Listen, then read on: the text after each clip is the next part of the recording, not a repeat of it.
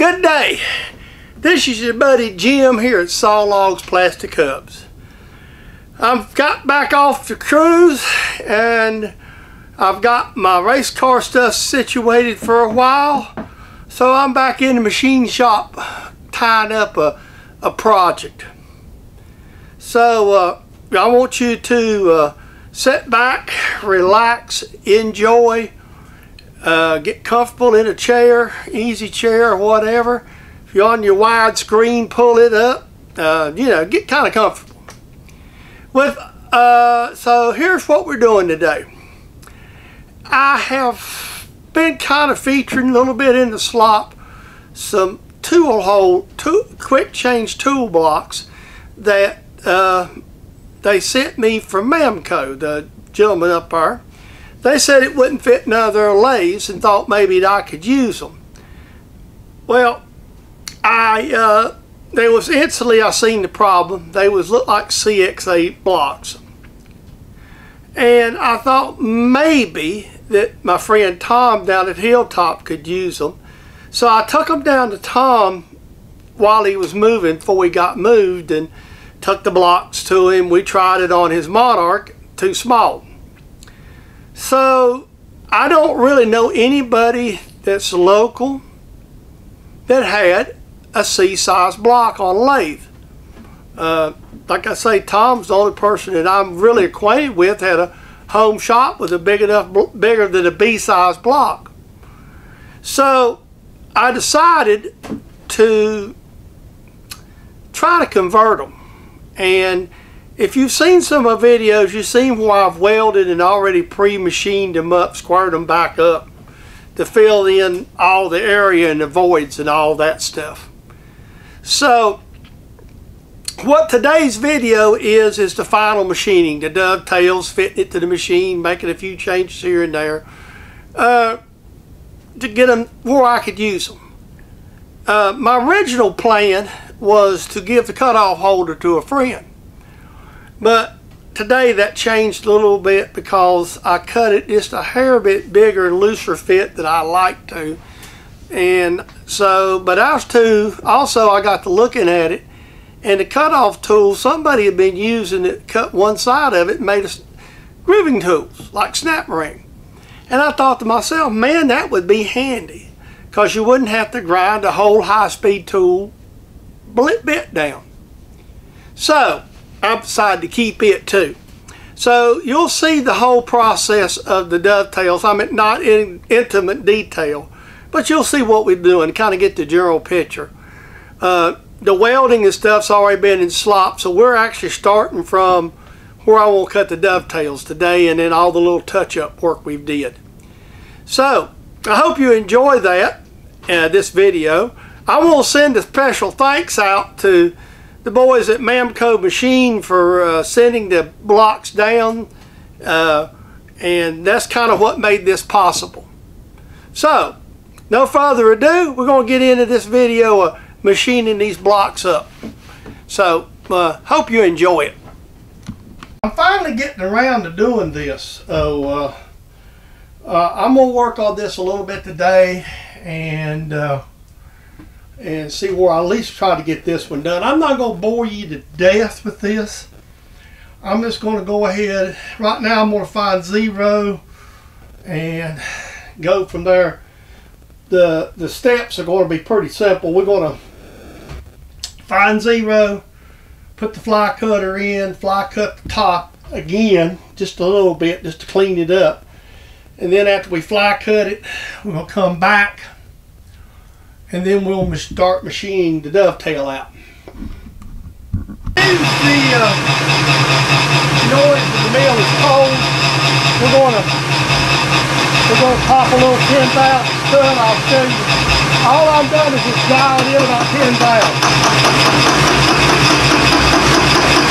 All I'm to do is take a light cut and make sure everything's to be on the same plane with this.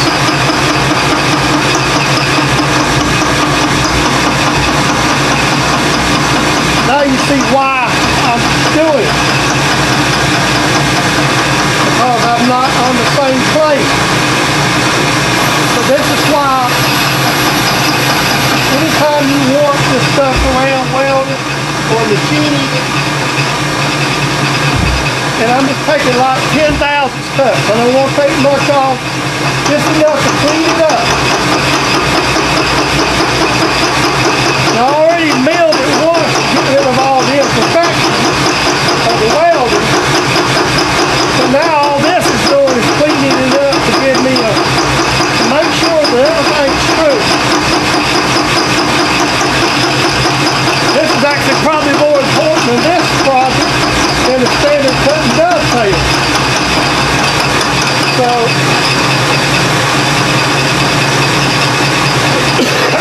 there we go. Alright, now I'm just taking that very first cut. To take a hundred thousandths out of the center and see what we got to work with, see if we touch anything on the sides. Kind of just get an idea of what we got. We may have to go up and down just to get us a place to work from the measure.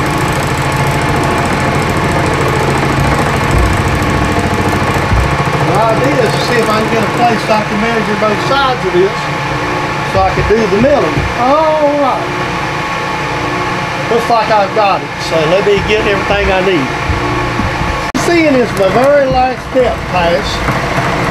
And I'm going to take a still picture when I get this done with the cell phone and let you see how good it looks. It's actually the, there's only one little spot over here in the corner I didn't quite get enough weld on.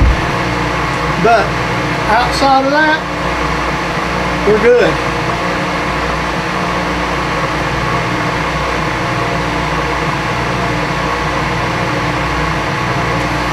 So I'm well pleased how, how the finished product's turning out. As you can see with the video, that how clean it looks. I've done a real good job on this and welded it. So I put a lot of time into weld. There's a lot of wire involved in welding in this too, by the way. Here we start.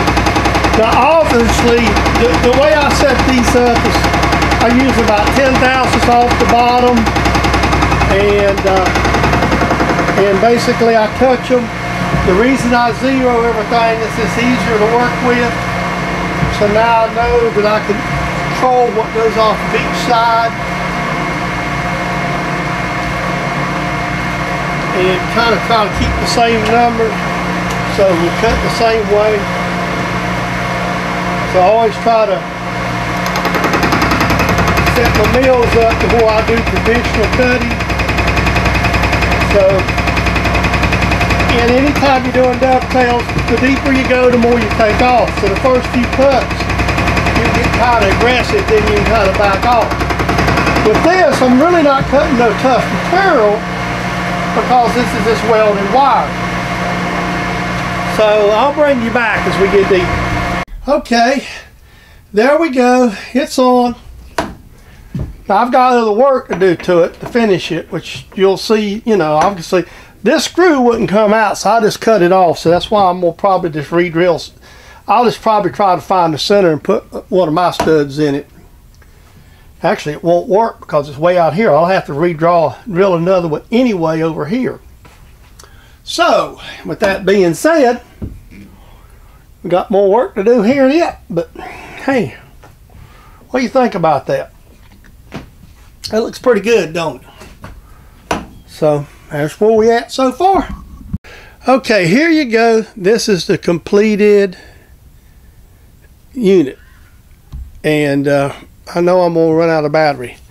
So uh, I'll bring you back. Now, but this is the completed one. I'll take a picture of it. And uh, this is the one that's completed.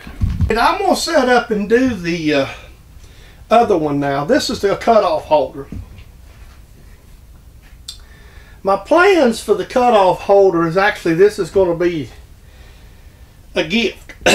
so when I finish. Now, if you notice, I'm going to cut the dovetail using the y-axis. The reason I'm doing that is because this is at an angle and I can't turn it and use power feed. So I'm going to do all this by hand feed. But it's basically going to be the same process.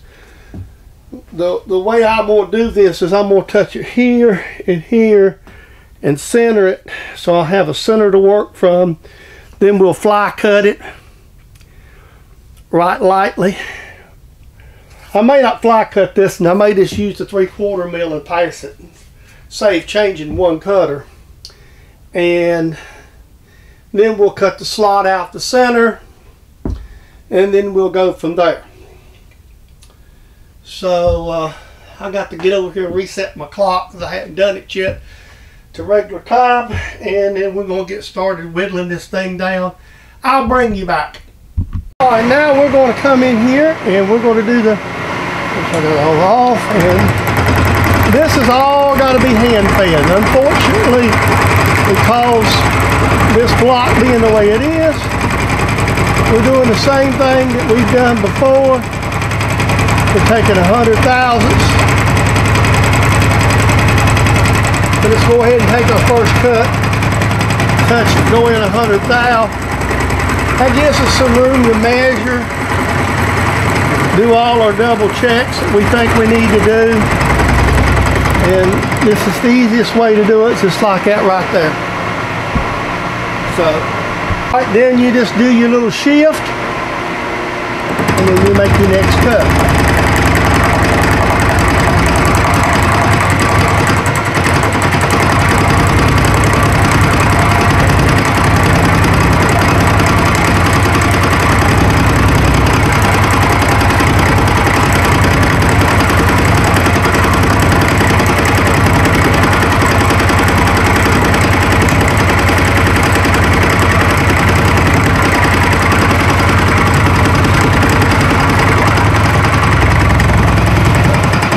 This is where on this job you see how good a welding you did.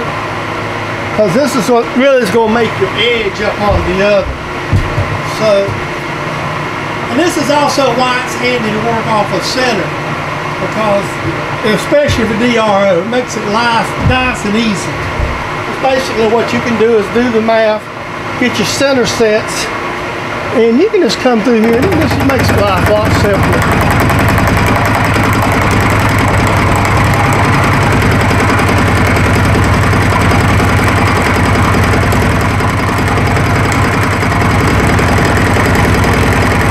Like I say, I've done so many of these.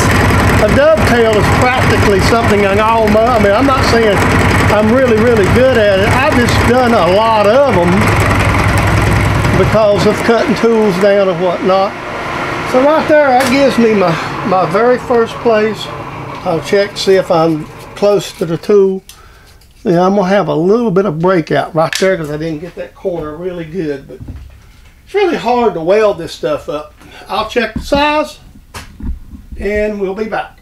I have this wedge block and this is what I use it for. Instead of measuring it anymore, I measured this out like it, uh, so I should have moved about seven thousandths. I went ahead on each side. So I went ahead and I went 10 to give us a little bit of slack, which is always good. Ooh, got a splinter right in my finger, folks. Now let's go to the lathe, see if this locks up. That's a little looser than I like, but I'm not going to re-weld it. But I've also decided I'm going to keep this holder, and I'm going to show you why. Somebody has taken this thing and used these cutoff tools and grout into them like little grooving tools. And I never have thought of that. Man, that'd be perfect. Instead of just using high-speed steel for little grooving jobs. So I'm going to keep the holder just to do that with it. I'm not going to plan on using for cutoff.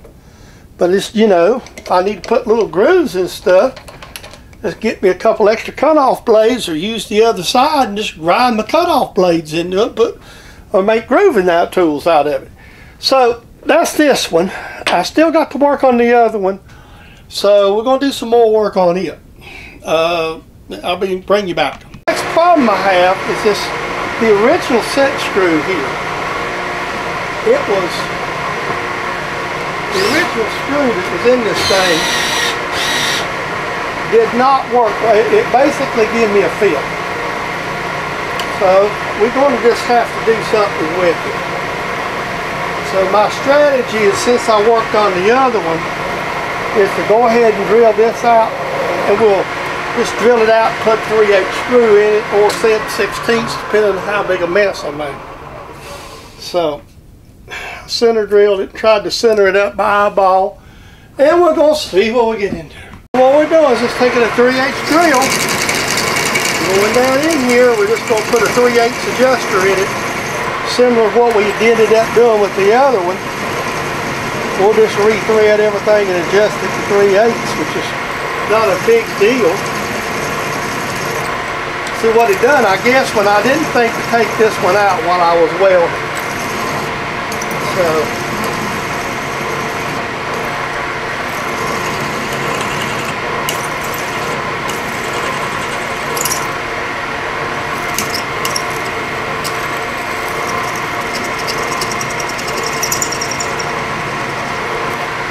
So let me see what I've got here.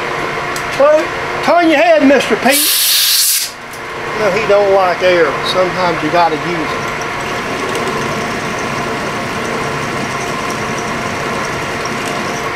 So what we're going to do is we're just going to try to rethread this thing. Whoa. We'll end up getting, all right, we're going to go ahead and go through, which is good. That'll allow us, that'll give us some room to work. Okay. What I'm going to do is just try to see it's, try to deburr it with the deburr tool. If I get one, or let's get, I'm going to take a larger drill bit. Try to deburr that away. All right, there's the completed BXA holder. Uh, uh, modified the BXA. Uh, I'll put a tool in it as needed. So that's how that turned out. And uh, because this one here had that little problem in there where they, I, I, jammed the screw or something, it broke during the welding process. I had to drill it out. So I went ahead and put 3 eighths in it too, just like I did the other. So let me blow a place, I'll clean the place off on the mill and I'll lay these tools over here and we'll talk about them in a second. Now, I have an incredible amount of time in these tools. Uh, I probably got at least eight or nine hours of my time in these tools, both of them. Uh, I could have, I should have, hindsight, I should have been a little more careful on my final machining here, but this is still a usable tool and I'm not going to go back to the trouble to fix it. I'm going, I'm going to keep it and use it like I told you earlier I have. There's somebody's reground these into grooving tools. And that's a neat idea. I can just order some blades and keep them around for nothing else but cut right uh, those tools. And this since I've already done the tool, that's that'd be handy for that. And that already set on center. This one you know, it's like everything else. You start to mess with this stuff, you run into all kind of stuff. The screws, if you've seen these things originally, they had to set screws down in them. I had to get them out. And then when I was welding all this up, I didn't think to take the center screw out. And, but then I start trying to chase screws. Decide I'm going to try to use metric. Don't have a good metric tap. So that's got to be a 7 16th. We'll go in that eventually. So, you know, it's just, it's a lot of work just because I really wanted to do it. So, uh, if the guys up Mamco are watching this video, I finally got these tools done. Uh, it's taken at least I probably, like I said, I probably got eight or nine hours in it between the welding and the machining and the, all the stuff. So it's just not practical. it's a challenge. So let me, I'm going to clean shop up and uh, we'll uh, talk to you in just a few minutes. Well, I hope you enjoyed me making a mess. Uh, basically, I'm going to put a disclaimer out just to begin with. This isn't practical. I took this on as a challenge. I would, and I think I mentioned it, and you'll probably have heard it several times through this video. I would not, unless somebody dang near practically done like the boys at Mamco and give the blocks to you, it's really not worth the time that I put in them. I probably got a good eight or nine hours of time in these blocks from start to finish. Counting all the welding. I know I welded them on them probably an hour, an hour and a half. And then, you know, I re-squared them and machined them. And you've seen this kind of along in my slot videos uh, all along. So, you know, unless you just want a challenge like I did, I just wouldn't, you know, I'm not saying don't do it. I'm just saying, hey, this is something just to show you can be done.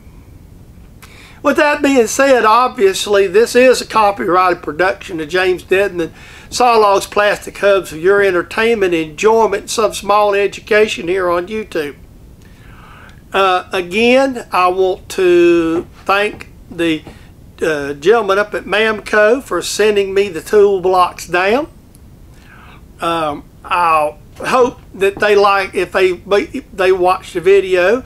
I hope they uh, see what I did and approve of it. And uh, it's a challenge. So with all that also being said, you know I'm going to hawk you up for subscriptions again. We're really, really, really, really, really close to 1K. And I would really love to get there. Uh, I have promised you, my subscribers, that we're not instantly going to chase money but I would like to get up in the uh, pecking order of YouTube to get some better, you know, views. So here's what you get for subscribing to the family. You get the privilege of being a subscriber to my channel. Number one, there are no annoying emails. Number two, no annoying phone calls. Number three, no religious organization coming to your doorstep trying to get you converted. That's three positive things for you can be a subscriber to this channel. It's that painless. And if you choose just to be a viewer, and you really don't want to subscribe to YouTube channels, well, I, I understand that, and I'm glad you came by today.